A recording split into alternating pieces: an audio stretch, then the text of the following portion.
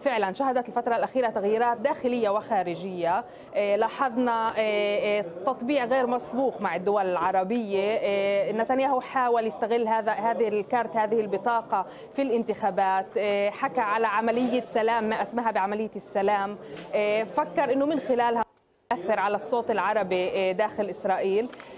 توقعاتي إنه بعد ما فشلت هاي هاي اللعبة هاي الخدعة اللي حاول نتنياهو من خلالها استغلال الصوت العربي. وكان عنده محاولات أخرى. يعني لأول مرة بنشاهد إنه في حملة إعلامية ضخمة في البلدات العربية طلعت تحت شعار ما يسمى بأبو يائير.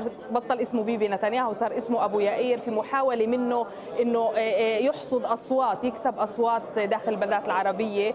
النتائج الأولية اليوم بتشير إنه فشل إنه الليكود ونتنياهو فشل في محاولاته هذه. وبالتالي حتى محاولات استغلال بطاقة التطبيع كمان فشلت بالتأثير على المجتمع العربي. العربي على المواطنين العرب توقعاتي إنه لن يحاول مجددا استغلال هذا هذا الكارت خصوصا إنه إحنا يعني في حال النتائج اللي عم تصل صحيحة للأسف ونسبة التصويت في المجتمع العربي بقيت متدنية فإحنا ذاهبون ل نحن ذاهبون لحكومه يمين بقيادة يمين عنصري متطرف طيب أستاذة بقيادة كاملة. بنيامين نتنياهو بن كبير وسموتريتش هذا التفكك في الصوت العربي هل يفيد معي. نتنياهو أكثر أم منافسيه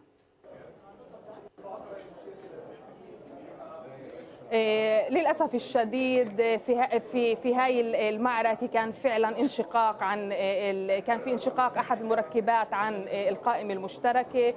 طبعا هذا هذا كان بمثابة هدية لبنيامين نتنياهو. وأنا أعتقد إنه سعى لذلك أيضا من خلال وعودات للقائمه الموحدة الإسلامية الجنوبية.